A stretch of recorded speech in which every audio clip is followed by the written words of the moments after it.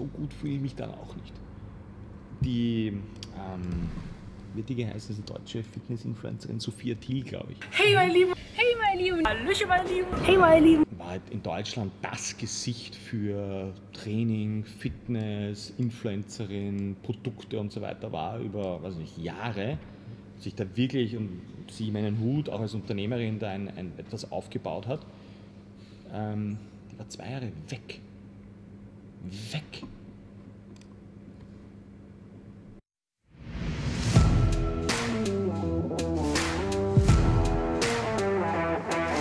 Schönen guten Morgen. Von einem Tag am anderen, weil sie nicht gut gegangen ist.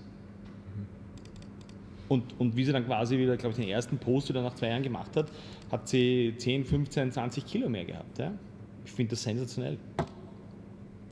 Das ist, glaube ich, die, das wahre Sie. Das eine hat man gemacht, um, weiß ich nicht, Business zu machen und so weiter, was auch cool ist. Ähm, aber sie hat Gott sei Dank immer gemerkt, okay, das ist eigentlich nicht das, was so wie sie selber sein will. Das finde ich großartig. Den Mumm dann zu haben, wenn du viel Geld mit den Sachen verdienst und zu sagen, okay, jetzt drücke ich am, am Knopf drauf und sage, okay, bis hierher nicht weiter, das finde ich sensationell. Das finde ich, das finde ich wirklich beeindruckend. Wirklich, wirklich, wirklich beeindruckend. Und ich bewerte nicht, was sie bis dahin gemacht hat, sondern das ist das ist eine der größten Leistungen, die du als Mensch verbringen kannst, wenn du das selber eingestehst, okay, das ist jetzt vielleicht nicht so gelaufen, wie ich das gerne gehabt hätte. Und ich glaube, allein, wenn, wenn so jemand sowas macht, glaube ich, hilft das ganz vielen Leuten oder Followern von ihr, vielleicht auch junge Mädchen, ähm, die vielleicht Probleme mit Körperbild haben, gerade in der Pubertät, ähm, Essen, Training, Körperwahrnehmung und so weiter, die auch, die auch Vorbilder brauchen auf eine gewisse Art und Weise. Ja? Wenn so jemand dann sagt, ganz offen darüber redet, das finde ich sensationell. Mhm. Finde ich richtig gut. Richtig gut.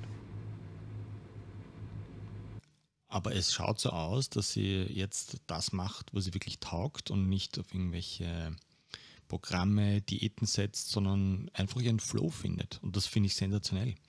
Und mit ganz egal, ob das meine, ihre Art, meine Art von Training ist oder was auch immer, aber was mich irrsinnig beeindruckt hat, dass sie an sich als, als Mensch auch gearbeitet hat, an ihrer Persönlichkeit. Und das finde ich beeindruckend. Ganz egal, was davor jetzt passiert ist und so weiter, davor ziehe ich meinen, meinen virtuellen Hut. Ähm, das finde ich ganz großartig. Und es zeigt auch, dass jeder ein unterschiedliche Persönlichkeitsfacetten hat, weil man verhält sich jetzt in einem Business-Meeting anders als beim Footballabend mit den Freunden oder beim Romantic Candlelight Dinner mit, ähm, mit, der, mit der Partnerin des Lebens. Und das ist auch gut so. Wir haben unterschiedliche Facetten, ähm, wir haben unterschiedliche Art und Weisen, wie wir reden und so weiter, aber vielleicht wäre es mal ganz gut, ähm, in jeder dieser Situationen angepasst äh, so zu sein, wie man gerne sein möchte. Und vielleicht dabei drauf zu kommen, wie man wirklich sein will.